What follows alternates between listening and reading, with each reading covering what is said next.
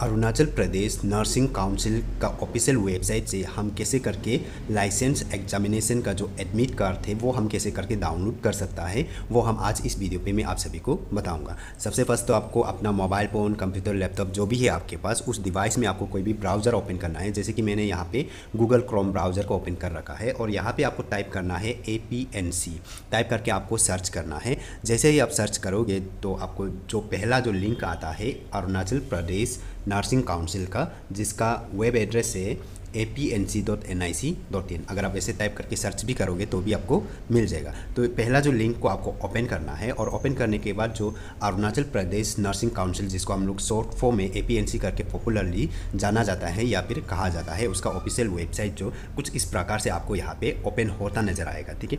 तो हम यहाँ पे जो लाइसेंस एग्ज़ाम होता है। आप जो नर्सिंग कोर्स करने के बाद और आपको नर्स बनने के लिए आपको एक लाइसेंस एग्ज़ाम देना पड़ता है और उसका जो एडमिट कार्ड है वो हम कैसे डाउनलोड करना है, वो आपको मैं इस वीडियो पे बताऊँगा, ठीक है?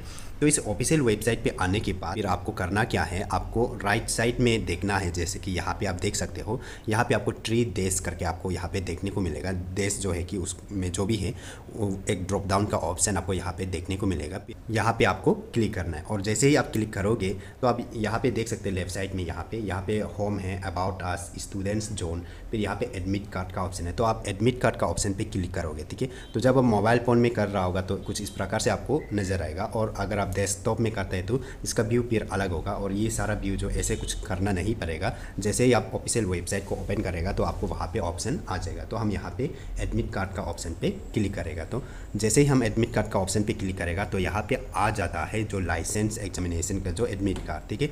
तो जैसे कि लाइसेंस एग्ज़ाम यहाँ पे जैसे कि पहले ज़माना से जो लाइसेंस एग्ज़ाम कंडक्ट किया जा रहा था वो सारा चीज़ अब यहाँ पे देखने को मिल सकते हैं। तो यहाँ पे हम सबसे लेटेस्ट वाला आप यहाँ पे देख सकते हैं सिक्सटीन लाइसेंस एग्जामिनेशन ठीक है?